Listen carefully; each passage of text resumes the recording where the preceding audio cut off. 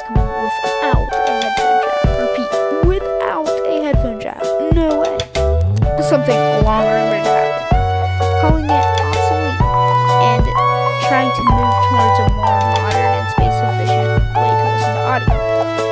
They then surprised us by waterproofing the, the new iPhone, most likely trying to compete with Samsung. Of course, they bragged about their squad new operating system.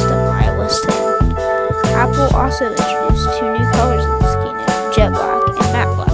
The jet black is kind of the shiny, new, fancy way to get fingerprints on your device.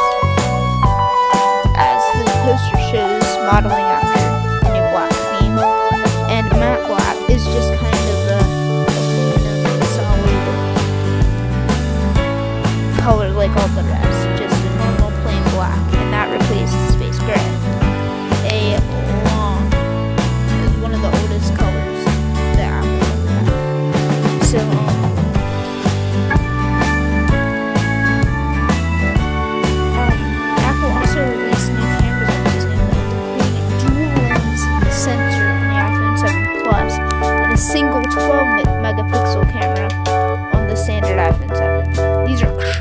crazy cameras. If you want more details on them, please watch the keynote.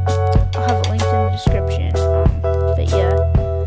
Um, following the whole waterproof theme, Apple released a new Apple Watch waterproof